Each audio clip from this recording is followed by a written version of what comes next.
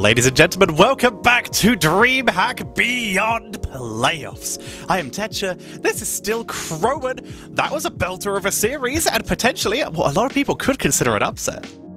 I'll, I'll go ahead and say I think that was an upset as well. I, I went in there, and I think other people were as well, as saying Wildheart, you know, they're both teams that struggled in this past CCL season. Wildheart had more moments of greatness, but Granit Gaming is really turning up recently. But it's one thing to do it up against Wildheart, it is another thing to go- to do it against back-to-back CCL champion Simplicity. So we're in for a whole other ball game here. Their progression can look great versus one team, but it could just be an immovable wall against Simplicity. But excited to see how it's going to break down. Couldn't agree more, but we have to bear in mind that Simplicity struggled against one of the Yeah. two non-CCL teams in this tournament in series number one, almost losing two games to 30k Blue, only losing one in the end. The third game, they were able to get some pretty good momentum and actually take a more controlled game, but this is not an undefeatable looking Simplicity. In one of the biggest tournaments of the year, Granit Gaming, they're showing up, they're looking okay. Simplicity, not looking at full strength, but they are still Simplicity. They are still simplicity. That's always a simplicity factor of any game they can pop off. They're all very experienced players, right? Even if sometimes maybe the drafts aren't working out or they kind of just get a little bit, um, I'll say complacent. I think it's okay to throw that word out there when it comes to some simplicity uh, uh, play sometimes. But uh, don't want to see that happen here, of course. This is going to be the DreamHack Beyond playoffs. This is the culmination of all those qualifiers. It is the peak of Heroes competition at this point after the CCL, of course. So Simplicity still are going to have some more juice there, and they're a team that do ramp up over the course of a season, over the course of course of a tournament. So I think that it's very um, possible. I don't want to say likely, but I'll say possible that the um, slip ups that we saw Simplicity have earlier, they could probably just have you know warmed up, got the jitters out, and are looking to be a lot cleaner in this series potentially. There's also the fun factor if you brought up that they scale over the course of a tournament, but the majority of teams in this in these playoffs have been playing almost exclusively CCL for the last several months, which was a game a weekend Yeah. compared to the more grueling tournament system where you have to push through a little bit more. But they have all played in tournaments, and these are mostly ex professional players who have been to their fair share of events and online tournaments and cups. They are going to be comfortable with this kind of format, but it does give you that ability to scale as opposed to coming in cold to a series and going out cold in a series. Definitely. So I, I believe we do actually have the map picks We do. um, coming through. So yeah, it looks like Granit Gaming went for first pick. The bans gonna be Simplicity Bang, Braxis, and Battlefield of Eternity.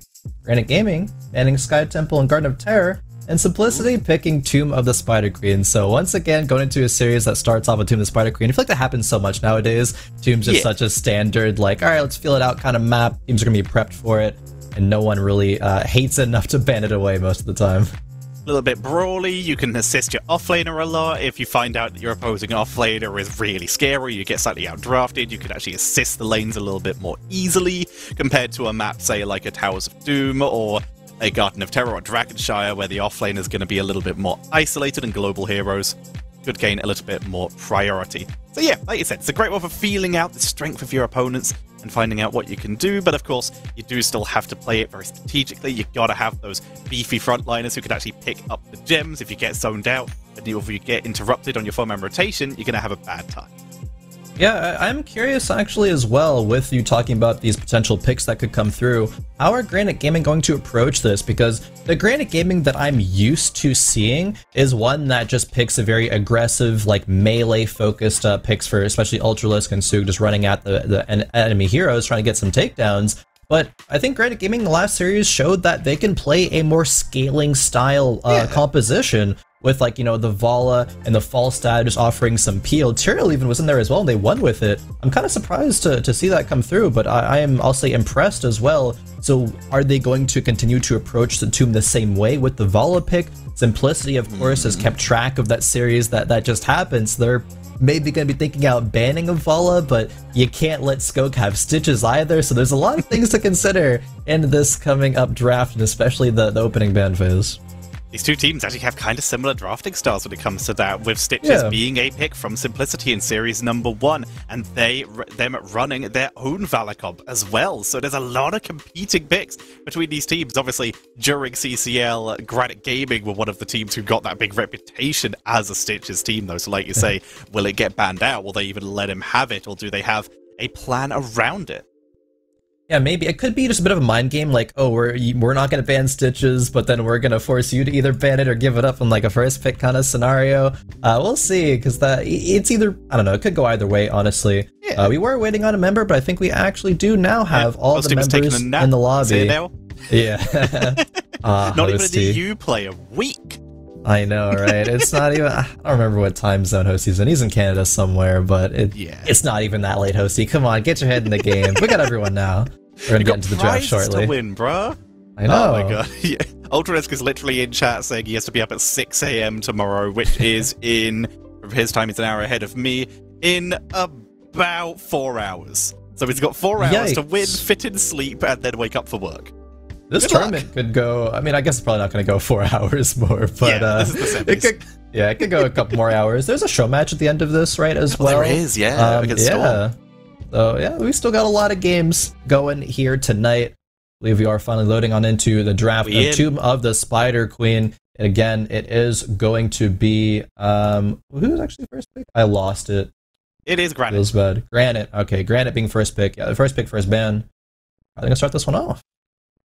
Let us see which team's going to prioritize maybe that Stitch or that Valla, or are there other big high priority picks? We know Cure has his Zeratuls, his Malthaels. Oh, yeah. There's the Leorics that they fit in quite a lot throughout CCL Season 1 and also a lot more recently. It's going to be curious to see what is the priority. You can see the timer being run all Yeah. the way down because they share so many of these heroes. They're thinking about it. I mean, uh, how it goes tournaments, obviously, like a lot of times players are, are focused on their first series. They kind of take it one step at a time. Like you do a little bit of prep for your following series, but you're mainly going to be focused on, you know, just getting past that first one. So they're running out this uh, this this clock. They did ban the Junkrat. And Junkrat and Zagara kind of filling similar roles, I think, but both of them are banned out. They're not going to have a lot of just insane lane bullying and uh, and wave cleared there, as well as Junkrat does provide a little bit of you know CC follow potential. Uther Banna follows up for Granit Gaming. So Simplicity going to ban the stitches, or will they give it over? It looks like they're they going to potentially be giving it over. Valla being more highly prioritized, and for good reason. We have seen just how scary it can be, even post every single nerf it's had to deal with Yeah. recently. But the stitches being given over. But the question is, is it still worth the first pick for Granit Gaming? On this map, it's very strong, but it obviously gives Simplicity a lot of time to react and draft around it, say perhaps Anduins or stuff like that. They don't. They take the Stukov, and that opens it up for potentially the the killer opening of Stitches Malfurion from the side of Simplicity if they wanted. But they don't either. It's being let through. All right, gonna be Tychus plus Blaze. Blaze still a fantastic offlane pick. Uh, Kira gonna be very well practiced on that, as well as the other uh, assassin threat. But with that being picked up, maybe we can, uh, you know, not be forced to be scared of into a Malthael or a Zeratul or something like that in the back half of this draft. Stitch is still being up. I feel like Granit Gaming. I mean, yeah, I feel like you gotta go for it in the two three. The argument I think is correct to not pick it in the first pick, but now that it gets to two three, like for sure, it, it's no surprise to see it at this point. Yeah, Bla- Blaze is someone you preferably don't want to hook because he is very tanky and can escape very easily and has that unstoppable. But Tychus, he's more reasonable. He can get a lot of armor and is one of the harder assassins to kill overall because of the amount of armor he can get and his mobility. But if you hook and you gorge, they're still probably going to perish. There's not a Yeah. huge amount you can do about that. What do you think of the possibility? Because you mentioned the less likelihood of us seeing potentially a Malthael. What do you think the possibility uh, is of the potential Blaze swap to maintain? So the potential, the potential is there. Do I think it's going to be great in this matchup? No, not really. It's kind of awkward sometimes for Blaze to, I, I think, step up, and if he goes a bit too far, forces you know uh, um, some uh, the jet propulsion uh, away. I think it can get punished. So I, I think we're likely to see Blaze remain in the off lane, but I could be wrong about that. I'm not sure what these teams have been quite practicing, um, you know, recently in their scrims or anything like that. Um, but I do think it's likely that I'll remain it as an offlane pick. Medivh and Sylvanas come through as the second round bans. Um, Medivh obviously very good into a Stitches pick and save pretty much anybody. Anduin now coming through as well, as long as a Nubarak. So yeah, there will be just a solid frontline tank Nubarak coming out from Masquerade. Makes sense. The Masquerade's going to give them that frontline. Beetles can block hooks, the ability to dive after someone who was hooked, cocoon the Stitches to stop him running away uh, before yeah. a gust comes out could really help them out here. And of course, the Anduin is the ultimate saving hero for a Stitches. The only thing better is if you can 100% drop a pre-cleanse every single time. And I don't know of any cleanses that have a 12 second cooldown. so in this case, makes a lot of sense to pick up the Anduin because you either pull them back or you put a bomb on them at home.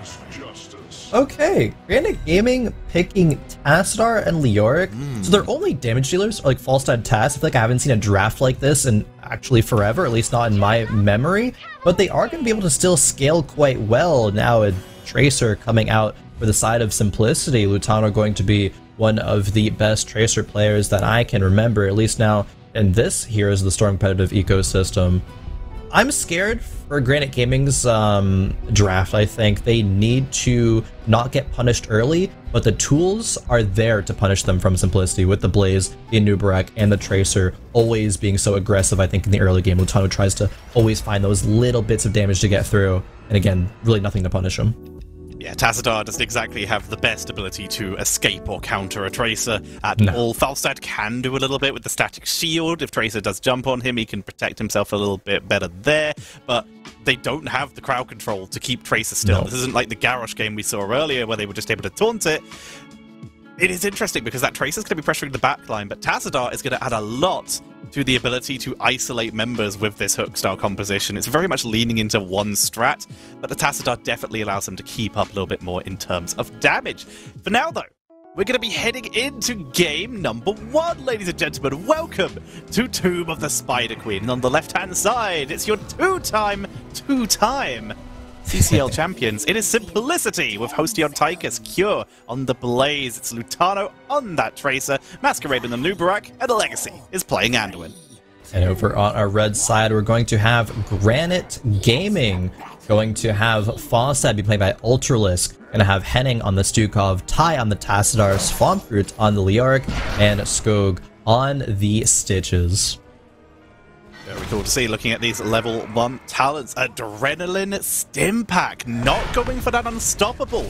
You're mm. just going for hmm. hyper fast wave clear and a little bit of trade ability and straight in for the stun here. The chain is long, but the Stukov Silence is enough to zone everyone away and get Skoog out of there. Yeah, Skoog really shouldn't ever fall there, especially pre-Tracer farming up her uh, Pulse Bomb, so not gonna be threatened to die there. A lot of it is going to, I think, be on what can Simplicity accomplish in the early game, and what are they going to get uh, punished with, and okay, Masquerade being forced to burrow charge away. Skoog is so tanky, if Skoog's able to absorb so much damage um, like that, they can, I think, always go for turns in that scenario. Tychus will eventually be able to help out with that, and we'll be able to bully Skoog a little bit more. Once he gets that, the bigger they are at level 4. And of course, the later the grenade build goes, the better chance they have of killing it. But Stitches is ridiculously tanky, so that will help a lot. And he also has that bonus healing at level 1 with the very standard these days patchwork creation. Gets that yep. extra healing and regen and a little bit of armor. The armor less of an effect against Tychus, but will help against Tracer and Blaze. Definitely so. As mentioned, Blaze not the unstoppable, wants to get a bit more wave, a bit more damage coming through. Maybe supplementing, of course, those nerfs that came through recently. Um, but they are already going to be aggressively taking out the Bruiser camp, get priority on it. Granit Gaming a little bit behind, but generally actually the team that caps the Bruiser camp uh, later will be able to get the counter push. Simplicity, though, is very intelligently saying we're not going to try to get any push done with that mid camp. We're going to just rotate to the bottom, force you to rotate there, be able to clear mid, and just be one step ahead in these rotations Makes sense right now. The rotation's looking solid for both teams enough, but like you said, there is a small advantage being gained. Ultralisk being absolutely body blocked here, but Barrel yes. just dodging out the way of that hail. To see that electric fence. We're going with that Psystorm wall build that's become so popular these days. Just misses catching Tracer with it. Lutano does hook behind the minion wave. Skoog hooks a minion. Lutano going to be rather safe there. Uh, great job of Granit Gaming to clear, but they still are noticeably falling behind in experience already. They're about a half level, maybe a bit less than half a level down. Ultralisk is chunked out, so uh, if Hosty gets a grenade, Masca gets a stun over the wall, that can be a very dead Falstad. Wow, grenade actually canceling Ultralisk's roll there, it looked like. Ooh. So we'll not have that available for a few more seconds. And one tower already goes down. Simplicity, macro game looking very strong. This has been taking quite a few hits this game. Like you said, the macro game's looking good, but Hosty maybe becoming first blood, able to get behind the minions and away from Spook. But that electric fence from Tide is causing a lot of problems here. All these dashes, all these teleports from the side of Simplicity, but only Burrow Charge could really make their way through the Force Wall. Force Wall going to be good. Electric Fence, such a good talent, I think. Even with the, the yeah. slow providing as well, I think is going to set up a lot of potential kills. Uh, Especially when you hit level 20. Oh yeah, 100%. we got a long way to go until we get there, but Tomb usually does go to level 20s, I would say, unless it's a insane mid-game from one team or another. Leoric going to be a nice Wraith block there to not get stunned. Mosca being pressured. Lutano eats the hook, but can blink on out of there. A lot of gems already turned in by Simplicity. Again, the macro, the wave, or, or the, the kind of map priority means that they're going to get priority on the turn-ins as well. One more gem. Legacy has it. Can you get it in? Like it. Master Assassin oh. coming in, by the way. Goodbye, Tassadar. Great shot there from Blaze. But Master Assassin coming in from the Tychus. First stack is acquired with that kill. Not going for the bigger they are to kill Stitches. Instead, committing a little bit more into quick percentage damage and a little bit of Odin race. Yeah, so that's very interesting. Uh, I, I kind of, I don't, I don't know if I like it, but I understand it coming through because Tracer, it feels pretty bad if you're just stuck hitting a Stitches for a while, but what Tracer can do is have backline access hit the, the targets like the uh, the Stukov, the Tassadar, the Falstad, and Tychus being Odined up and follow up on that damage um, from a pretty safe range. So it makes sense why Tychus go Master Assassin here. Generally doesn't even get completed, but hey, maybe we'll see it being completed this game. Gotta get. We've had some very low kill games so far this tournament. Let's see if they can turn that round. Simplicity looking to pile the pressure on Cure. Pulls aggro with his AoE. He's gone for his Incinerator Gauntlets to help with that race. Skoog has been ganked, but it is Skoog and it is Stitches, and he's out. Wall putting a lot of peel there. Hook does not connect. Maybe a 13 uh, Hook would have, but we're not quite there yet. Level advantage about after that turn in from Simplicity. They get all of the bottom fort mid-wall and are immediately, once again, turning their attention to these mercenary camps. Simplicity not letting up at all. The pressure is consistently there. Granit Gaming has not found any kills. The hooks that come through are not able to uh, result in anything. Mask is doing a good job at making sure he, he knows where Skoog is, and so the enemy or the rest of the members of the friendly team there will not be able to get hooked, get pressured at all. Absolutely, just trying to avoid that because that is the win condition. Of course, it's going to get worse as the game goes on. Look at the spawn timers come in, so they just have to be able to keep this up all game. No problem, no issue. But here's level 10 for Simplicity. They're looking to make the play. They're looking for it. Cocoon comes out in the stitches, and now that's going to be a very quickly dead Stukov. Looking for more as well. No level 10s for Granit Gaming means that this Bruiser Camp invade is successful. This is going to result in a fort kill at the least. Double Bruiser Camp. This could be the wall going down of the keep and mid keep as well, but another kill. Even Falstad stays around way too long. The disrespect there. This could even result in a kill, perhaps, Tetcher, or uh, a kill on the keep, perhaps, Tetcher. They can certainly try. They've got that Master Assassin for an extra 10% attack speed boost yeah. on that Odin, so it's a little bit of extra DPS here as they try to force their way forward. Front gate getting blasted, but lurking arm coming to the rescue there, completely zoning everyone away from the gate so they cannot follow up and chase. Now, the Granit Gaming 10s are too soon on the horizon. They're going to want to dump their gems and uh, don't have quite enough for a turn in yet. Just need one more wave to do so. Granit Gaming thinks that they might be on the boss, as, yeah, I might have uh, gone to boss possibility as well. So I think that was uh, an intelligent recognition from Granit Gaming. It's going to be wrong, however. Plum Groot trying to get 48 gems in, but Cure's already here. The Simplicity are a step ahead of where Granit Gaming are at all points in the game. They're not going to let this turn in come through easily, but Tychus on the bottom side has the gems. And here we go, another Blue Web Weaver phase. Blizzard looking very strong right now. They have control of the map. They've got those lanes pushed up. Falstad and Tassadar have been trying to soak their team back into this. Granit Gaming on the back foot, but they have their pick comp now. They have level 10s, Gorge, Gust, Entomb, Flailing Swipe, and Archon. Archon less for the pick potential, but because it's really good. In this Yep. case, if they land hooks, there's a good chance whoever they hook is going to die. Legacy is going to have to be in position. There is the Gorge. Legacy, he's coming as fast as he can. Masquerade just has to survive, and he does. Pulled over the force wall, easy escape. Yeah, I was saying it's likely if they're going they're going to die unless they're a Nubarak because you have the mobility and then you have Anduin there to pull you as well. So much distance means that that's going to be gorged down 40 seconds, allows Simplicity to walk forward and now pressure the keep. And Granit Gaming is forced to be split right now, right? The cocoon comes out on Tapstar. Maybe a kill potential. Nice, oh no, nice gust. gust. And the friendly hook, dodging Cure as well. Bunker's dropped. Force Wall was cutting off his escape, so a well-timed Bunker as Cure on the run, trying to get out of here. Lutano recalling back, dropped the bomb. Entomb is dropped, catches Hosty, but there's no one there to follow up. Sven Grotter's just gonna die here as he is able to get out, actually. Holds on to those 54 gems, and that is a huge deal. The keep went down, but we do see Granit Gaming holding on to everything else. Yeah, Granit Gaming, at the very least, is holding on to all these gems so they have a potential comeback condition if they are able to chain a kill, get an even talent tier, and then chain some turn-ins through there. But Simplicity does not want to allow that to happen. They want to continue to put this pressure on. They're waiting for Falstad to check the bush, but uh, fortunately for Granit Gaming, Ultralisk is going to be a bit smarter than that, as I'm smelling something fishy here. Checks the bush even. Good job. Now Stitches maybe can get something done. Gonna look for another hook. Gorge is back and available. It comes out, not landing No. this time. Masquerade already on point. Good vision, avoiding it, preventing the death. It's got those burning beetles now as well, so they're going to be able to help with wave clear.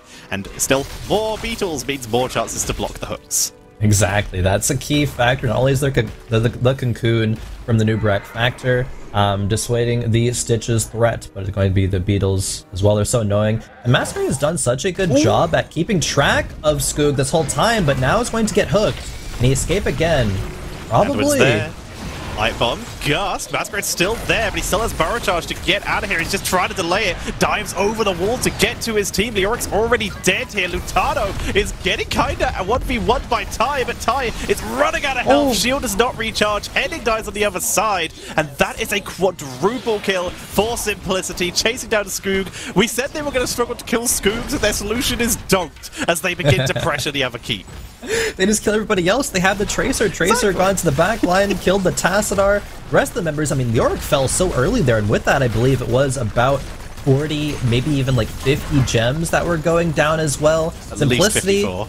Yeah, uh, 54. There's going to be the keep not going down the bottom side. Simplicity probably can't end the game because it's a bit too early for that, but they're still going to be having such control of this map. Level 16s now, while Granit Gaming is 13. You know, I was saying earlier, Tetcher, maybe Simplicity has seen that warm up for them to look dominant, and they certainly are doing that right now. Only the one kill for Granit Gaming came because Lutano chased a bit far, did trade the kill out for the Tastar, however. So it was worth. Hashtag worth. It is worth for now as they're trying to make it even more worth to pick up Asfan Grotta. Spinning away. Friendly Oh. hook gets him out. Good right. Oh, Oh, no. Hosty! Hosty with the snipe kill at the end there. That is bad news. It is Leoric. He will be back quickly. But this is very bad news for Granit Gaming. They are behind. They need that experience, but they're just going to have to either defend this boss on their last keep or take this fight down 16s. Falstad is not flying. Looks like they've opted for the former. No, I mean, Leoric will be back fast, but not fast enough, right? Still five seconds left on the respawn timer before Simplicity does convert this boss on over. Skoog has to find something and finds a hook onto Hosty. The Gorge comes through. This could be it. Be what Granit Gaming Edwards needs. coming. Coming. He's got two pulls. Pull one into the entomb though. but where's the damage follow up? It's just Psystorm. Falstad was in the was in the cocoon. They can't follow up, Rowan. Oh man, such distance once again. Nice entomb though, but as you mentioned, no damage. Where is it going to come through? The Ultralisk now after the Cocoon is going to be just chunked out, forced to disengage. Simplicity pushing down, still more than half HP left on this boss. The Odin is going to expire. This is maybe the time of Granit Gaming to do something. Lightbomb Blink sets up the death of Henning, meaning no more healing. Masquerade does die in exchange, though, and everyone else on Granit looks pretty healthy. Simplicity back it up. They push onto the boss. The keep goes down their last line of defense, but they still get the hook onto Hosty. Second pull. Ultralisk is popped, and the core will not go down yet, but the last line of defense has fallen for Granit. This looks just like a slow bleed out at this point for Granit Gaming. All keeps down. All keeps are, all forts are even still up on the side of Simplicity. All the wells are up. Now Simplicity is just going to wait for a Nubarak, get all the camps their way, have uh, close to enough gems for turn in, not quite though. Granit Gaming is still not even found their first turn in at this point. Simplicity can allow it to come through though. They don't want to throw this game. They can just wait for level 20s to come through. They'll get it very, very soon and be able to start that death push with a turn-in of their own. See if they can do it. The chance is there. It's late game stitches. There's always the possibility to yeah. get that turnaround once you get those big elongated hooks. Lutano continues to just try and keep the map blue by harassing everyone on Granit Gaming as a turn-in does come in from Granit Gaming. Yep. Skoog demounted. Hook doesn't land. That is bad news. They need Gust. Bit of an awkward cocoon, probably could have just killed Skoog, but instead now is to turn on. Falstad dies in the meantime off on the side. Skoog gets a Desperation Gorge, but it's not going to do anything again. There's just no damage. Henning trying to Fling Swipe to protect Skoog. Hosty walks forward. The rest of Simplicity walk forward. Masquerade even getting the stun onto Stukov in the back line. This is going to be another kill, and they're going to march on to the core, Tetcher. This should be game number one right here, right now. They're or not, though. Not. They're clearing the Web okay. Weavers. They I think they could have gone caught there, but they're spending a little bit of time clearing out. They want to make sure they can do it with a 100% chance because there's always the chance we could see that force wall change this fight. There's always the chance that Leo could get a big heavy entomb to turn it. It's unlikely. Maybe it's too safe, but Simplicity are taking it safe. It, it, does feel a bit of, of, kind of that too safe, but I mean, I guess it's fine. Now they're 20s. Now they're going to get a turn in. It should be game either way. It's maybe there's like a 1% higher chance of not, th or, of not throwing yeah. the game right now, but sure, if you're in Simplicity spot, you can afford to go for those things. Kier, though, in a little cutout, and Tomb okay. comes through, forces Kier to uh, charge beyond it, but now the team is here from Simplicity to support him.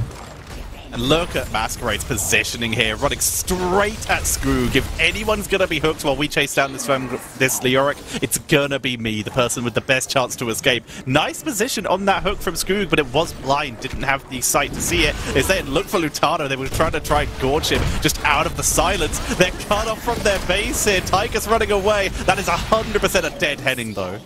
If there was any CC on the side of Granit Gaming, maybe they could catch Lutano, but again, there isn't. Lutano gets to just do whatever he wants. Ultralisk just flies on over the core because, uh, and sits in the Hall of Storms because you're not going to be coming back in this game. Is going to, of course, be Simplicity. Closing this one out finally. 15 kills to 2, 4 level lead. This is the Simplicity that we were expecting. Game number one to Simplicity, and like you said, they seem to have found their footing and gained their momentum. That is a solid first win. Coming literally off of this recent weekend, becoming our champions in CCL, and now they're playing in the highest level that is DreamHack, and they are showing exactly why Simplicity is the name to be feared in Heroes of the Storm right now. 15 kills to 2. Yeah, and the two kills were only when Lutano trade out for the Tassadar, and then when Masquerade was like one for four or one for three kind of trade on, I believe, a topside team fight. It was, I'll say, a draft diff. If Granit Gaming didn't fall so far behind and they got to a Tassadar level 20, like that was their scaling condition, that was their win condition. But the Tracer is just going to be able to abuse that so much, and they would need to have been just a much stronger team in general to uh, be able to hold on that long. But Simplicity were the stronger in this in this scenario. So uh, yeah, they're gonna be able to abuse Granit Gaming, which they they did very much so. This is still only game number one. Can Granit Gaming bring it back and try it and create the reverse sweep to move into those grand finals? We'll have to see. There's still plenty of time. The Anduin was pretty good. I think we're safe to say we know that Anduin is a great counter to the Stitches, but just in Yeah. general, the synergy between Legacy and Masquerade was just money. The hooks just never felt impactful.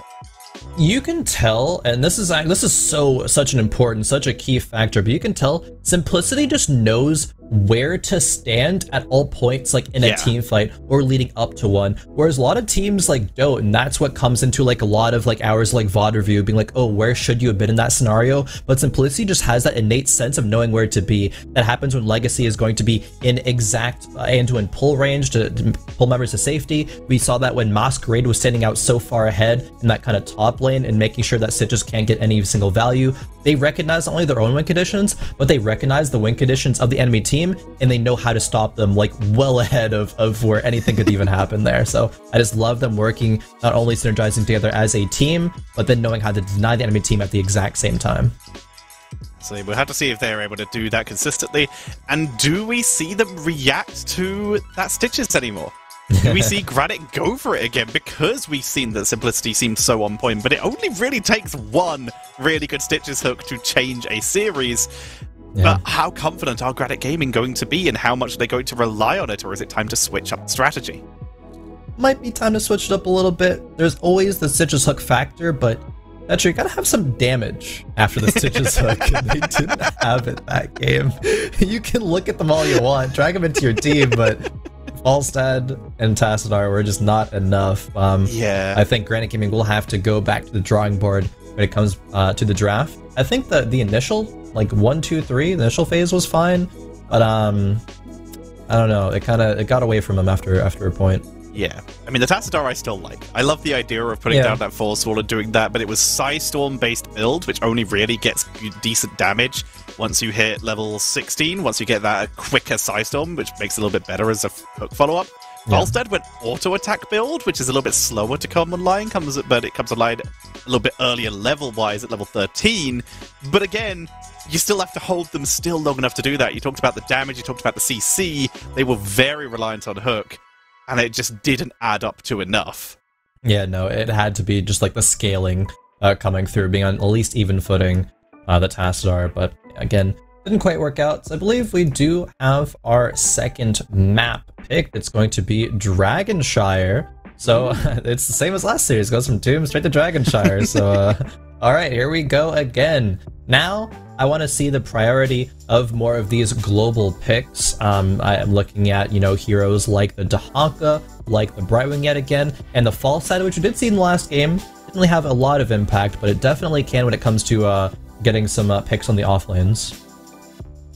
We'll have to see if they're able to do that. Like you say, game picks on the offlanes are so important. In the first series, we actually saw a creative use of Dehaka and Hogger together, just to make sure that they had that global potential. Either one could take over the top lane at any point and use that global to try and assist it. I have to see if a similar thing is done with the Brightwing, like stated earlier. Maybe Falstad makes a return with in a composition where he's able to do the damage or has someone to supplement that damage.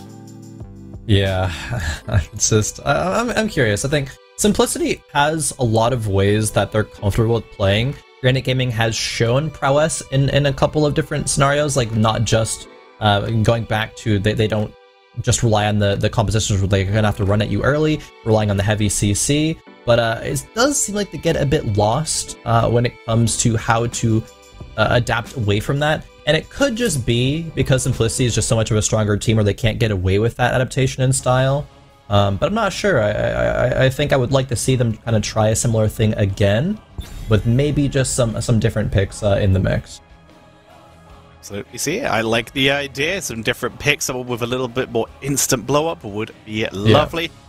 Let's see what they go for as we are starting off with the first ban. Kel Surprise. We will likely see Zagara as the first ban from one of these teams. Yeah, Not this time. Junkrat. Uh, it was Junkrat Zagara that opened it up uh, last time. So Simplicity is going to stick true to the There script. Yep, Zagara does come through. Um, but this is where we can start to open things up, and we can start to maybe be like, hey, maybe the Stitches band can come through. Um, maybe Granit Gaming says we don't want to play it because it didn't work out, but we also don't want to let Simplicity get it either. That factor could come through. See what's in their mind. They are drawing out this timer kind of far. Very true. There's also a couple offlaners who could get priority bans. Hogger is one who is quite Yeah. popular amongst a lot of top laners. maybe? Ah, they know Masquerade, banning out that Uther. Uther ban coming through. That's going to be a nice one. Uther's still so priority uh, for a lot of different teams and a lot of different uh, compositions. Can kind of slot on into anywhere. Stitches ban or no? Probably not. It was the Valla ban that came through last game, denying that away from Ty. I think for good reason. See if it's going to be the same thing again. Gonna be seeing Hmm? the Stukov ban. Alright. That's still a decent follow up for a hook if you can get it und- as a drop. Malfurion is uh, the most reliable, but Stukov he is still potentially the highest priority support, especially seeing as the. Uh, especially as Lucio recently received a pretty severe nerf to his high five. Yeah. So it's a solid ban, and that is an early pick on the Rexxar, just going for that top lane control. Yeah, Rexxar priority yet again. We saw it in a previous series um, Yeah. ahead of a Dehaka. And I mean, I, think it really did work out. Rexxar can, it looked like, win that matchup or at least have Shrine control. And that's going to be, okay, an instant response of the Zeratul. Usually with Simplicity, I believe draft Zeratul, it's going to be like in the 4 or 5 later on in the draft, but they're already aggressively going for it right here. How can Granit Gaming respond to it though? Because Gear Zeratul, it can dictate the whole pace of the game. So the usual counters to a Zeratul would of course be a point and click CC. This would be a Brightwing Polly, stolen, an Uther stun, banned, And, yeah. and Va- uh, Varian, potentially, still potentially, and Oh, he is, or Garrosh, who is reliant on where the Zeratul is. These would be like the big high priority ones, and only one of them really seemed available to them. They're going to go with Varian Li Ming and just pick this person will die, hopefully. Yeah. Good luck. And this is a style that Granit Gaming again is very familiar with. This person dies, you know, we run at them, a Li Ming follow up, very telegraphed, gonna be hard to uh, deny. Ring does have a cleanse on what, like a 90 second cooldown, so uh, the saving members are gonna be very few and far between. Lucio Ben coming through. Lucio, while he was nerfed, is still a, a decent pick, a, a solid pick. Um, but I'm looking at supports maybe like Malfurion coming through from Granit Gaming. I think that would be a fantastic option. Um, there's the potential for something else, but I think Malfurion's probably on the top of their list. It's nice follow-up CC, and be able to help the Li Ming out as well. giving them a little bit of mana, giving them solid healing if they need to go deep, and of course having that Tranquility or Twilight Dream. Twilight Dream potentially is a follow-up for Varian, Tranquility for the extra armor to protect the team from Zeratul could Yeah. be very helpful. So yeah, definitely like the idea of the Malfurion. It's suddenly become a Ah. lot more difficult though to escape from a lot of these, and a lot more difficult to actually kill people with this Varian composition with Medivh entering play. I can understand why Granit Gaming wanted to ban out a Nubarak, but I think the Medivh probably would have been, uh, I mean, hindsight, sure, 2020, but uh, Medivh is going to stop the Varian Li Ming blowup in its tracks and also allow the time for whatever tank is picked to get into the backline, punish these non-mobile heroes like a Rexxar, like a Malfurion. Imperius actually being picked up as, uh, oh, four-man Imperius it looks like, because Rexxar is going to be, the, gonna be the, the, the off. What do you make of this Tetcher? I, I kind of like it myself, but curious is your thoughts on it. But I Imperius love pick. the idea of adding in a second, uh, a third frontliner in this Yeah. case because you're kind of screwed otherwise because you are just going to be completely shut down by that Medivh. So the counter reaction, the counter strategy here is if we keep you down, if you, we keep you locked down long enough, eventually Force of Will will expire. And hopefully you will die. It also gives them the flexibility of, like you say, putting that Imperius in the four man, or sending it to the top lane, or sending Varian to the top lane as Rexxar those ogre uh, ogre orc auto attacks do actually chunk really well. And it is still another cc follow-up. So you can actually use rexxar as a sort of ranged assassin fill in in the late game with cc it was a strategy that was used a lot by Hasselobs in season 1 of ccl so they've got a lot of flexibility with this lineup here which might create problems for Kurop in that top lane It could potentially. I think the main question is what can they get done in the kind of like levels 1 to 10 or even like 1 to 13 range before Zeratul scales into the late game, gets online and, and takes control of it. And I feel like I say that time and time and again when it comes to Granit Gaming. Like, how much can they get in the early game? Can they have that early game momentum and allow allow that to, you know, help them scale forward so as to not allow the members of Simplicity to get into even footing in the late game? Generally, Simplicity is a good team at stemming the bleeding, playing safe, playing that macro style. So Yeah. even if they lose kills, they can still ma- maintain even an XP. So I'm still gonna, I think, I'm gonna give the advantage over to uh, Simplicity in this matchup, but uh, I want to be proven wrong. I want to see Granit Gaming not only translate early game success into into kills, but into a, a higher macro play as well, or better macro play.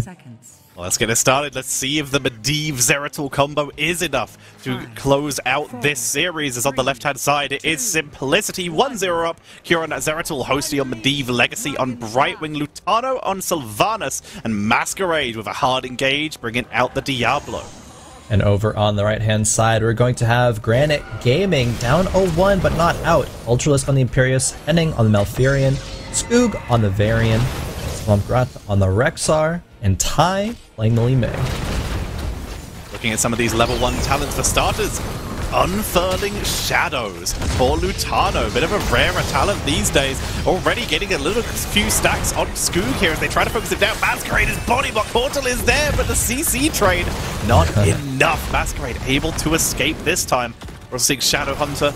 That likely could lead into a more auto-attack burst focus build from Zeratul as opposed to a cleave build. And burn yep. the Impure. Kill Diablo. Goodbye frontline from this Imperius. Oh, okay. Masquerade charges to a minion. I thought would try to kill Swampgrotha with that, but just kind of going to try to bully Misha. It does get the kill. And hey, those Misha kills do add up in XP. I like them yeah. prioritizing that when they can. Love it, and it's a solid idea just to gank with the tank early before they even make it down to their appropriate lane, the bottom lane. Lutano is stacking and just gaining as many as they can here with this Unfurling Shadows. Not going too well though, because their current stack count is two. yeah, trying to. At least just getting some damage out. Um, yeah. Henning is going to be able to sustain Tai though very, very well. We're not at the point where Varian is level 4 yet, so the taunts are not going to come through. You want to pair up the Li Ming with the Varian at that point, which is will be soon. Masquerade, a bit of a uh, engage onto Ultralisk. Gonna get we'll completely body blocked though, no way out. He's used his charge, he just had no escape there. So good kill.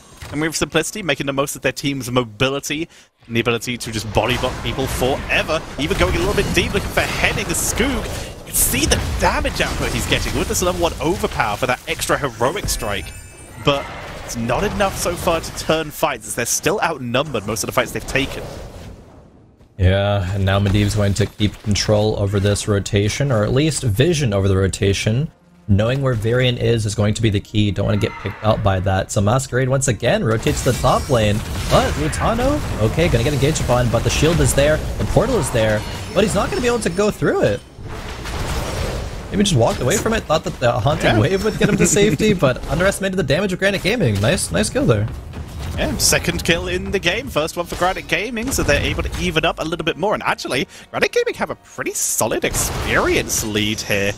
Being able to soak up pretty well, but you're able to make a lot of it back up in this top lane. Misha, though, Positioned on the point, you've got to step a little bit further forward, Swampgratha. Leash range is a little bit longer than the tower range. Here comes the dive onto the back line. Fantastic taunt to keep Henning safe. The spear follow-up is good. It's percentage damage Ultralisk, but he needs that follow-up. He needs to Li Ming to finish these kills. That's the CC that Granit Gaming was lacking game number one. They have it now, and we see what they can do with it. Nearly is getting some of these kills, but Hosty, of course, with the Medivh factor, is able to protect so well. They know how to stall this shrine out as well. Legacy gonna be able to uh, stall and then Hosty if needed. Now, Zeratul is able to get control over the top shrine. Masquerade yet again. It seems like he's living in the top lane right now, just not allowing Rexxar to have fun. An unusual rotation in terms of where your tank is positioned, but it seems to be working. Calamity just dropped on Lutano there, trying to keep the pressure going. Masquerade zoning away from the Dragon Knight. And Cure getting vision, but he's going to be spotted by Ultralisk and Skoog. They decide not to go for the charge. Yeah, maybe not quite in range as soon as uh, Cure blinked on out of there.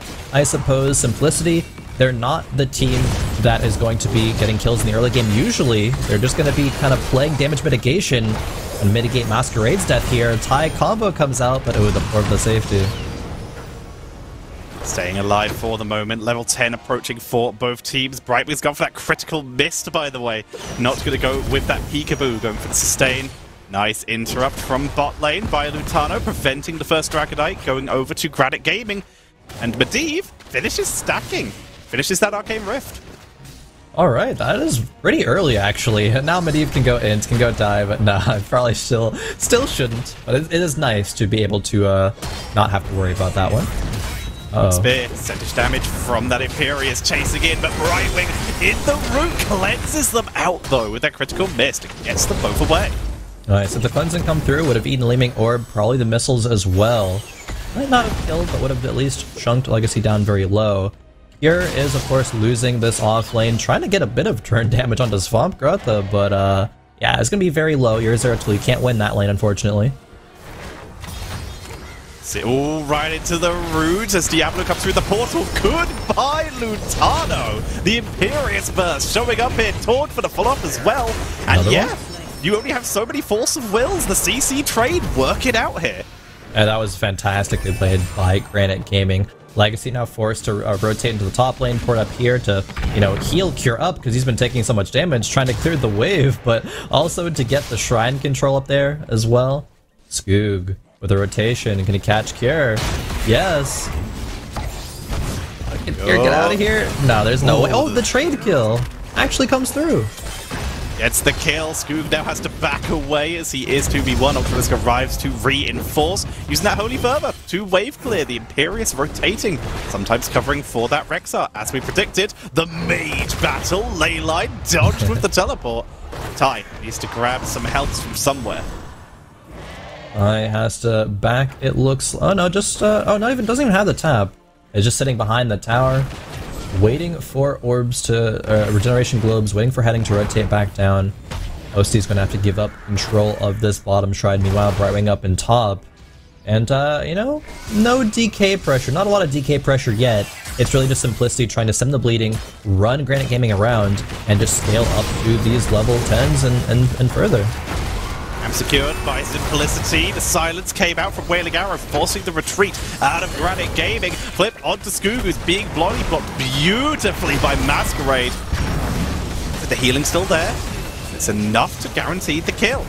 Not bad from Simplicity finding the kill. Rafaman Jiris, though, through the portal to try and turn the kill, kills around.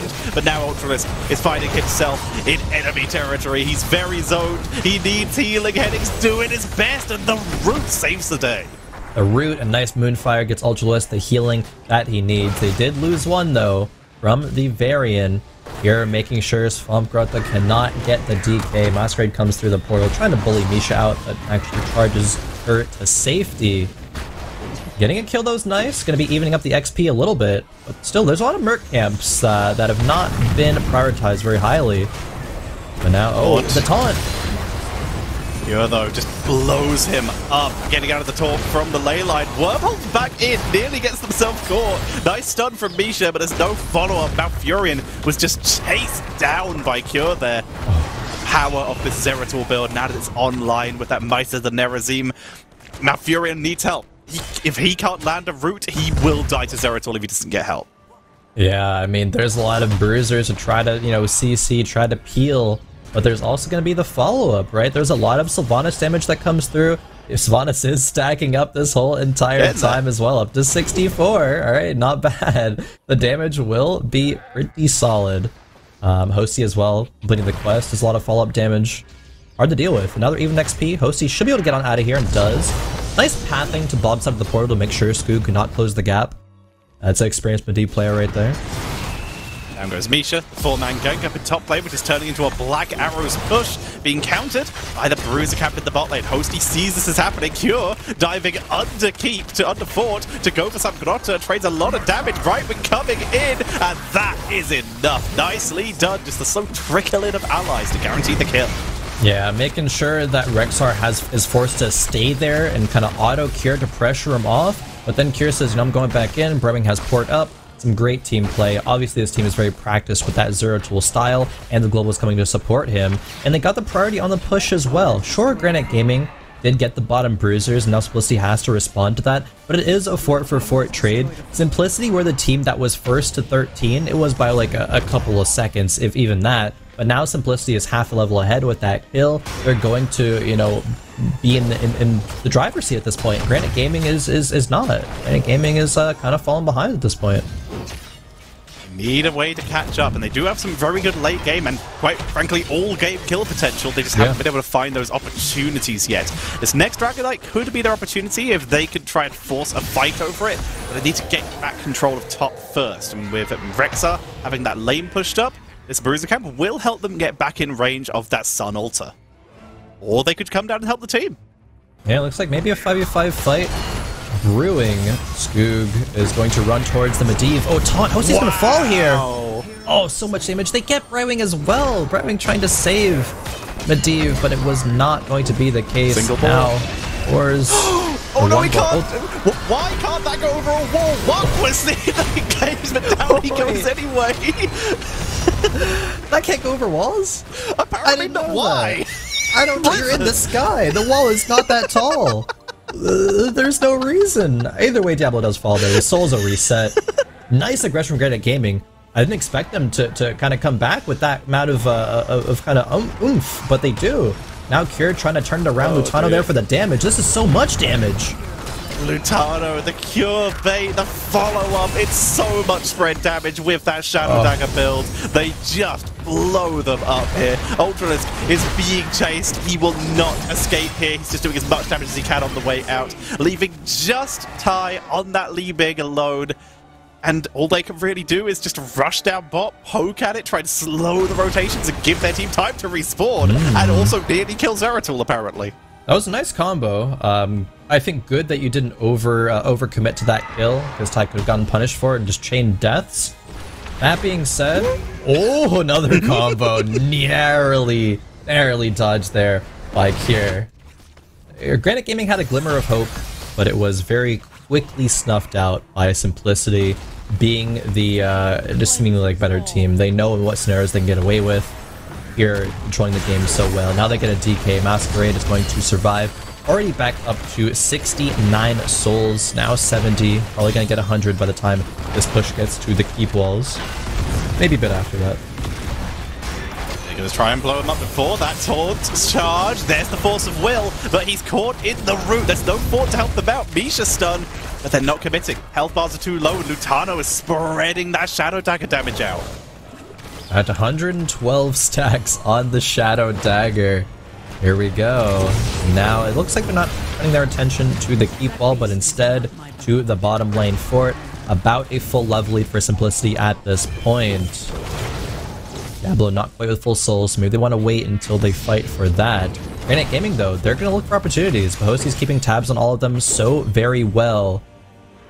Granit Gaming needs to find something, and it's going to be maybe invading a, a Merc camp when it's up. Like Skoog's running at Lutano right now. But Rusty arrives back to get Yeah. the vision. Hosty just knows where, where they all are. It's so hard for them to actually do anything with Medivh being that, that, that pesky bird. Their entire composition is built on running at someone and killing them, and when the enemy knows where you are, their strategy could just be run away and kill the one person who isn't with your team. Goodbye. Oh, delay. You got a couple seconds. Oh, There's the ley ley line. line. Oh no. Into the APOC, they get the one kill on Rexxar, and now a follow-up onto Malfurion. OC actually does uh, fall over, got counter-killed. Nice combo by Ty and CC by Ultralisk. But still very worth it from Simplicity. They're so low now. Cure trying to find where Ultralisk is, see if he can get the finishing blow. Ty is also low. If Ultralisk fishes out where he is, if Cure is able to dive over that wall and find Ty, that Shadow Dagger, you gotta run! Zeratul, Oh. double blink, but the escape from Ty is barely there. If Ty didn't have Blink up at the exact moment, that would have been Ty falling over. Fortunately, it did have it up. But now Simplicity going to be soon on uh, level 20s soon as the shrines come back up. If Simplicity are able to achieve any DK with 20 advantage, they could use it to win the game. We'll see if they're able to get in that scenario. Still a couple seconds on Medivh respawning, so if Granit Gaming are going to get a kill, it has to be soon. But no, they're going to turn their attention to the Merc Camp. Try to even out this XP as much as they can. Gonna blast their way through this, get a little bit of pressure down on that bot lane, a little bit of spell armor if they end up fighting down here. And they're just grouping.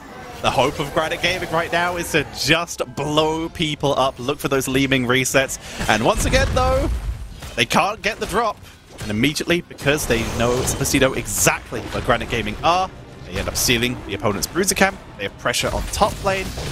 Granit Gaming just don't have the control they need, and they don't have the ability they need to gain the positioning on the map to get Simplicity. No, not at all. I mean, Ultralisk is trying to CC's Masquerade, but says, "All right, that's cute." Walks away. Like they can't really follow up. The members aren't just uh, just aren't there. Uh, now the DK is going to be pressured. Sylvanas is going to be capping this bottom shrine, running in circles. Zeratul already prepped to uh, enter. Level 20 is a full level away from Granit Gaming. They could just play this very slow. Like, the game probably actually won't end here. They are going to go through this bottom fort, go through bottom keep, and then maybe go to uh, mid keep after that as well. Um, so Granit Gaming has time to, to pick up kills. Maybe like a Li Ming level 20 Repulsion can um can, can get some value here. You, you can't just get the initial burst kill like run at one member because of the Medivh factor. The thing that Granit Gaming probably has to like bait out some cooldowns, then look to, to just uh, follow up CC on another member, on a backliner, maybe on a Brightwing as soon as she try to port in to save the first member. Portal Mastery, one portal exit being placed. The other one could be placed instantly for Masquerade to engage. You can see Skoog is trying every now and again to charge forward and try bait out a Force of Will. Tai, good pull on the Dragon Knight. That's going to save the lot of damage. Oh, Ultralisk caught on the rotation though. Caught, Zeratul, okay, it's not caught. I thought maybe Gear went a little bit too deep with the DK, but uh, did not. Now they get a kill, and Simplicity does such a good job at, at, picking off the off lane or the side lane members of Granit Gaming every single time. Now they're going to be oh. able to push on in. Unstoppable. Lutano getting a bit frisky there, but is able to. Using the man advantage. Yep. Walls come out with Kill Commander is the root, but just results in the dead bear. This is a Withering Barrage game for Lutano, by the way, getting those extra Banshee's Curse applications so he gets more damage. Good blink away from Tai. They turn on Cure, but it's not enough. Where's the damage? Leyline into APOC for the second time. Only catches the Varian, but they have a lot of damage. Skoog survives this time. Yeah, a bit of a, bit, bit not of a, uh, a well-timed combo there from Simplicity. The 20 ley line, maybe they're not as uh, already used to it, but oh, okay, a lot of damage actually coming out onto Kier. He does blink out. Now Ultralisk is back. This is the time where Granit Gaming needs to keep Simplicity interested if they want to, uh, to, to get some much-needed kills. There's the charge Cure in the backline, trying to pressure Henning and Tai. Henning able to back up underneath that keep. The uh, the, the Rapid was used there, but it's not enough for the kill. Great charge from Ultramus, but it's cleansed out quickly. Here oh. comes the ley line and the healing from Brightwing may have just ended this fight. Ultramus getting CC'd out of base and Cure oh. picking up the kill on Tai. That's all the damage eliminated. And he lives as well. The icing on top. Henning gonna be the next member to fall. Maybe Masquerade gets the charge, gets the flip. Ooh. No? Okay, here we go. Henning still survives though. The Cure's already working on the core with the rest of the members. I believe this will be Simplicity 2-0ing it, but they're trying to have some fun. They're trying to pad the stats right now, and they're gonna do that as well as get the core kill on the end of things here. Thatcher 2-0 for Simplicity looking so dominant over the course of those two games. Not respecting the Henning Masquerade 1v1, but 100% respecting their title as the best currently. Simplicity take the 2-0 and they move on to the grand finals. Man, I, I, had hope for Granit Gaming leading into that series because of how well they played earlier into Wildheart. Um, but Simplicity were just uh, on top of their game. They were on top of, I think, the drafts, and that was a big one. Um, Simplicity, I think, hardcore won the draft in both games. Um, and I'm not quite sure like why. It seems like Granit Gaming probably should have been able to have um, some better drafts, especially in Game 1. Game 2, it wasn't quite as much of a draft gap. Uh, but still, I mean, as we see from the stats on the screen, Lutano got to do so much damage pretty much for yeah. free that whole time. Um, with the stacking of that Unfurling Shadows. And then the Zeratul scaling. I mean, Cure only died once, had 70k damage. The Medivh being played by Hosty there is always a treat to watch. It just it all goes so well together. Like, this draft is just so well executed from Simplicity, it's hard for Granit Gaming to do anything even with their perfect draft. Yeah, they had so much CC, they had everything, but it was all about the macro and the control from Simplicity. Almost all of Simplicity's kills were catching people on rotations yep. or in individual lanes, while Medivh just saw exactly where Granit was. So Granit never got the positioning control they wanted. Yeah, now looking forward to the future. Uh, do we know who won the other series? We it looks like actually, look at the bracket at 30k. One against Can't Censorship. So we get a bit of a uh, Simplicity versus 30k Yeah. grand finals. That's gonna be a good one. Very fun to see. 30k, who had a great performance in the earlier part of the CCL season, did fall off a little bit, but they did a great. They did perform very well in CCL in general, getting third place overall.